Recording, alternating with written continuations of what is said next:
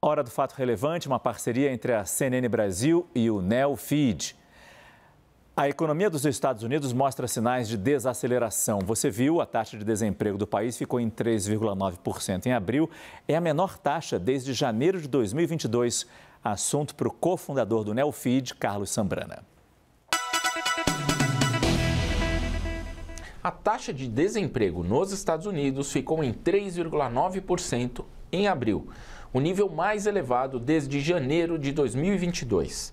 Foram criados 175 mil empregos no mês passado, bem abaixo das expectativas de 240 mil, de acordo com os dados divulgados pelo governo americano. O que seriam más notícias em outras épocas acabaram sendo notícias comemoradas por analistas, mercado financeiro e até pelas autoridades monetárias mundo afora.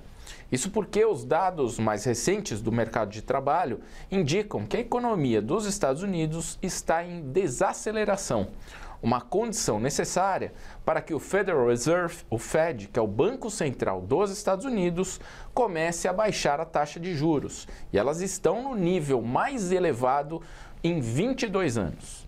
Esse otimismo explica a reação do mercado financeiro dos Estados Unidos depois da divulgação dos dados de emprego o índice S&P 500 e as bolsas americanas acabaram subindo por lá.